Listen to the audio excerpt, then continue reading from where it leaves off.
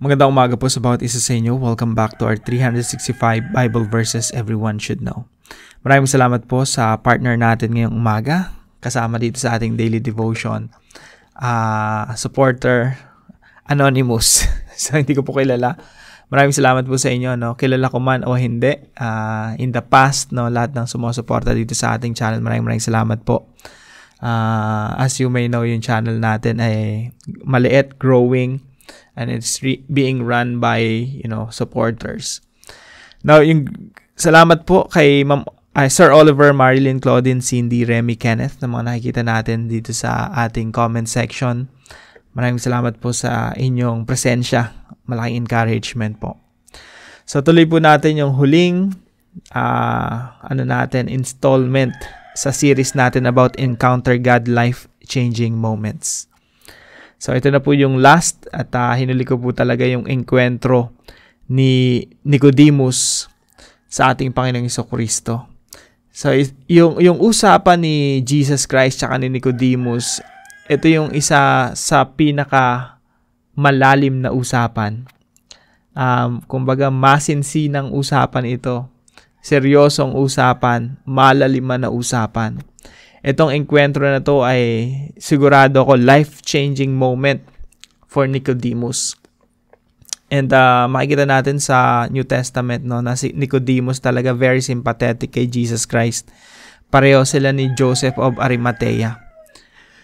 Now, yung talata po natin ay continuation po ng John chapter 3. Ito po ang sabi ng Panginoong Iso. And this is the judgment. The light has come into the world And people love the darkness rather than the light because their works were evil. For everyone who does wicked things hate the light and does not come to the light lest his works should be exposed. So ito po yung sinabi ni Jesus Christ kay Nicodemus. At ito ang kahatulan na naparito ang ilaw sa sanlibutan at inibig pa ng mga tao ang kadiliman kaysa ilaw sapagkat ang kanilang mga gawa ay masasama.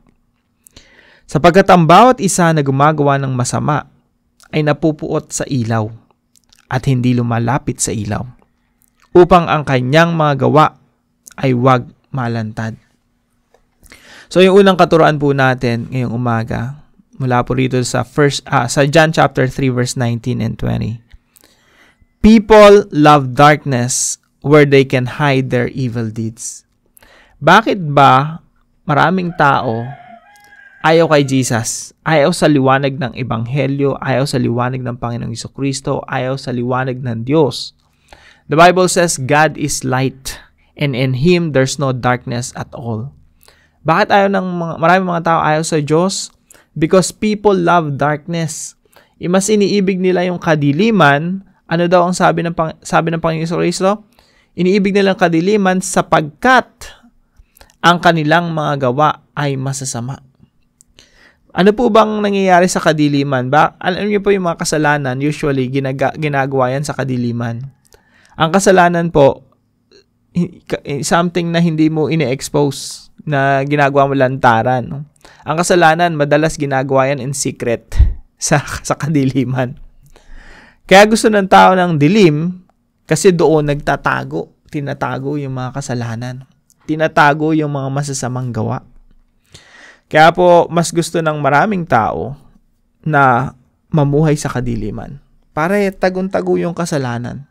Pag lumapit ka kasi sa Panginoong Iso Kristo, ang first step na gagawin mo is to reveal yourself. Lord, eto talaga ako, makasalanan talaga ako.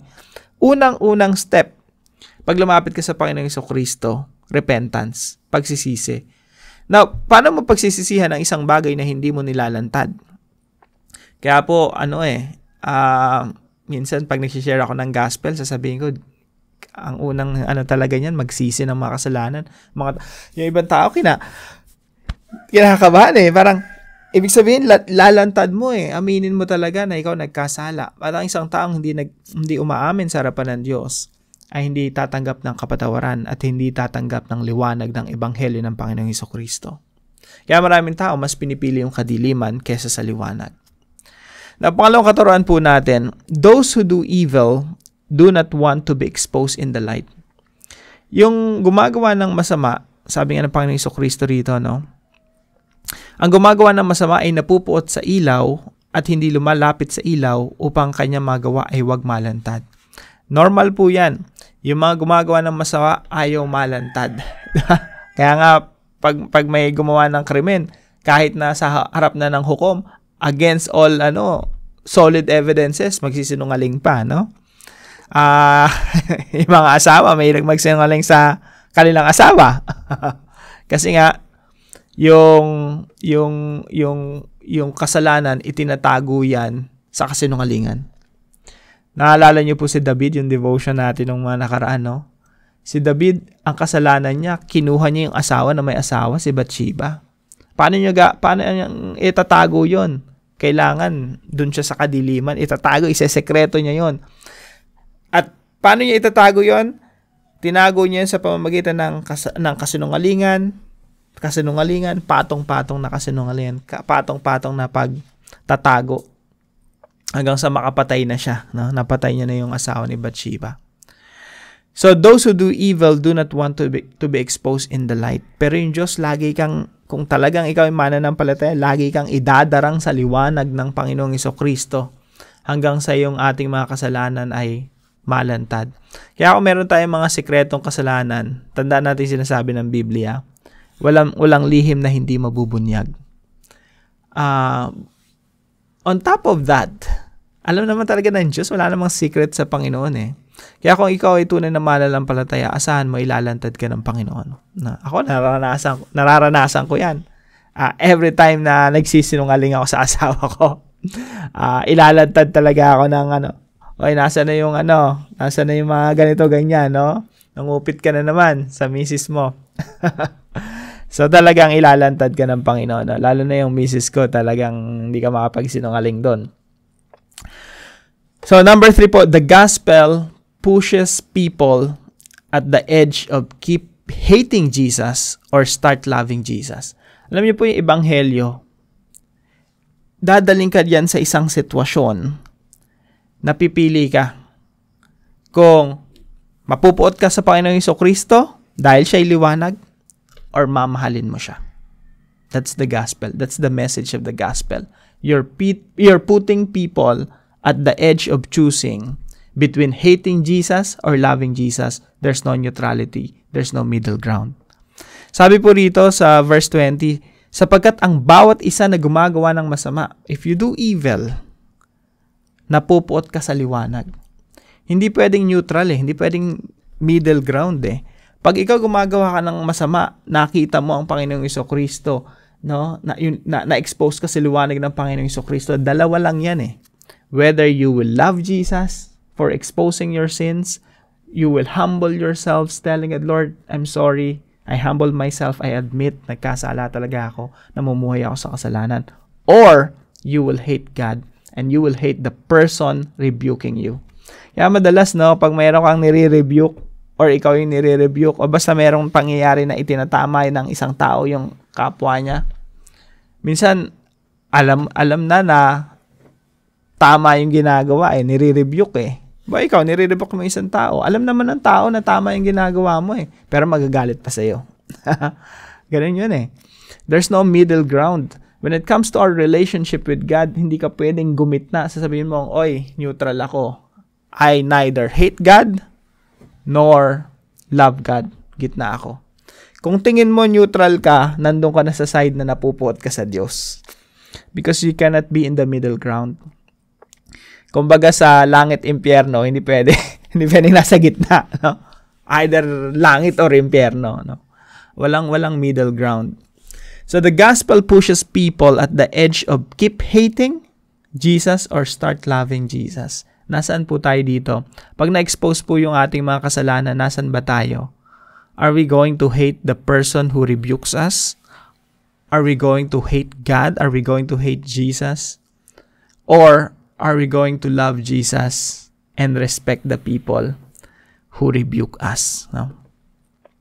Now, bilang application po sa mga talatang ito, number one po, step out of darkness. Hindi po gusto ng Diyos na namumuhay tayo sa kadiliman na gumagawa ng kasalanan sa dilim at sinesekreto yung ating mga kasalanan. Kasi po, once na gawin natin yan, patong-patong po yan, magpa-pile up yan. Uh, kapag meron kang, kagaya ni David, no? meron kang ginawang masama, para mapagtakpan mo yan, gagawa ka ng isa pang masama. Pag nagsinungaling ka, tatakpan mo pa yan ng isa pang kasanungalingan and, you know, domino effect yan. Maraming maapektuhan. Hindi yan isang kasalanan lang. Gumawa ka ng kasalanan, tinago mo, susundan pa ng isa pang kasalanan, pangalawa, pangatlo, pang-apat. It's a domino effect. So let's step out of darkness. No more secrets. Wala na tayong tatago sa Panginoon. Ilantad na natin sa Panginoon. Ilantad na natin sa ating mga misis, sa ating mga mister, sa ating mga accountability groups, sa ating mga churchmates, sa ating kasama sa mga small groups. Ito talaga ako, nagkasala ako. Ganito yung mga ginawa ko. Sorry sa Panginoon at sorry din sa iyo kung meron kang nasaktan. Pangalawa po, let's expose ourselves to Jesus. Yun talaga yun eh. Kailangan idadarang talaga natin yung sarili natin sa liwanag ng ating Panginoong Iso Kristo. Sabi nga ni John sa iba niyang mga sulat, sabi, sabi dito sa 1 John chapter 1 verse 5, At ito ang mensahe na aming narinig sa Kanya at sa inyo ay aming ipinapahayag na ang Diyos ay liwanag. Yung Diyos po natin mga kapatid, liwanag. At sa Kanya ay walang anumang kadiliman. Now, pakinggan po natin to. Kung sinasabi nating tayo ay may pakikisama sa Kanya, if we if we consider, if we if we proclaim that we have fellowship with God, at tayo ay lumalakad sa kadiliman, nagsisinungaling tayo at hindi natin ginagawa ang katotohanan. Kaya walang ano eh, neutrality.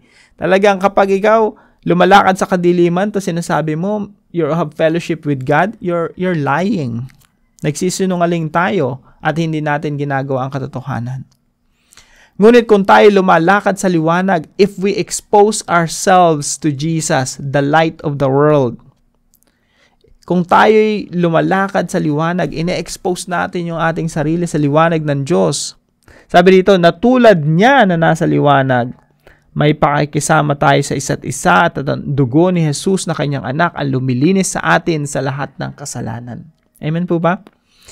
So, expose yourself to Jesus and receive cleansing. Pangatlo po, hate or love Jesus, there's no middle ground. Kaya sabi nga rito, no? Kung sinasabi natin may pakikisama tayo sa Kanya pero nasa kadiliman tayo, nagsisinungaling lang tayo, kasi walang middle ground. Walang gitna. Walang neutrality. We either hate God or love God. We cannot say that we we we live in the we live in the light of God pero namumuhay tayo sa kadiliman, no? So, we either hate or love Jesus, there's no middle ground. Kaya po mga kapatid, ang option lang talaga natin dyan is love Jesus. Mahalin natin ang Panginoon, mahalin natin si Kristo, at mamuhay tayo sa liwanag ng Diyos. Para po sa ating discussion, how can you practically apply this verse in your life? Paano mo ma-apply itong mga talata na ito na pinag-uusapan natin no? sa ating mga buhay? Practical. Yan po ang i-discuss natin sa ating mga discussion group. At para naman po sa ating panalangin, kausapin natin si Lord. Sabihin natin, Father, forgive me whenever I choose darkness just to hide my sins. Lord, patawarin niyo po ako. Kasi kahit kristyano ka, kahit man, matagal ka na palataya, dumarating talaga tayo sa punto ng buhay natin na merong liwanag eh. And then merong daan patungo sa kadiliman. And sometimes we choose darkness. Hingi po natin ang tawad yun sa Panginoon.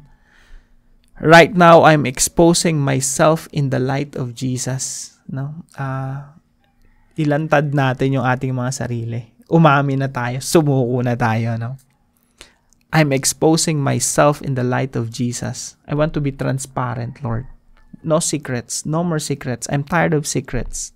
I'm tired of hiding myself in the dark. So, Lord, please cleanse me. Make me holy. Give me a pure heart. Napakagandang panalangin. No? Give me a pure heart. In Jesus' name. Now, kung meron po kayo natutunan dito sa ating devotion, ipaalam nyo po sa comment section and paalala lang po, no? Uh, every 8 p.m. from Monday to Saturday, meron tayong uh, gathering online Zoom. Yung link po nasa comment section below. Nandun rin yun sa Facebook page natin na uh, online discussion, daily devotion. Uh, very meaningful po yung mga usapan dito. Uh, meron to mga small groups gathering, merong big group gathering and then small group gathering na nakapagbahagi po tayo ng mga insights natin from the scripture, from the Bible, at uh, natututo din po tayo. So, kung gusto nyo pong sumama rito sa mga online discussions po natin, uh, join lang po kayo for 8 p.m. Monday to Saturday. So, yun lamang po at uh, wag po natin kalimutan na ibahagi itong devotion natin na ito sa ating mga mahal sa buhay at mga kaibigan. God bless you po.